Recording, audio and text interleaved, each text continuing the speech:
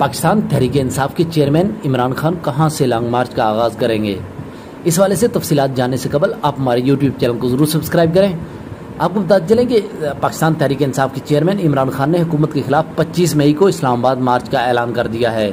इमरान खान ने अपनी ट्वीट में कहा कि कहना चाहता हूँ, पूरी कौम 25 मई को हकीकी आज़ादी मार्च के लिए श्रीनगर हाईवे इस्लामाबाद पहुँचे। उनका कहना था कि इस्लामाबाद में आपसे 25 मई की सपहर तीन बजे मुलाकात करूँगा। आपको बताते चले कि इमरान खान ने मजीद बताया कि मैं खैबर पख्तूनख्वा से हकीकी आज़ादी मार्च की क्या करूँगा। ये अहम तरीन स्टेटमेंट इमरान खान की तरफ़ से आई। मज़ीद वीडियोज़ और अपडेट्स के लिए आप हमारे यूट्यूब चैनल को ज़रूर सब्सक्राइब करें और हमारे साथ जुड़े रहिए।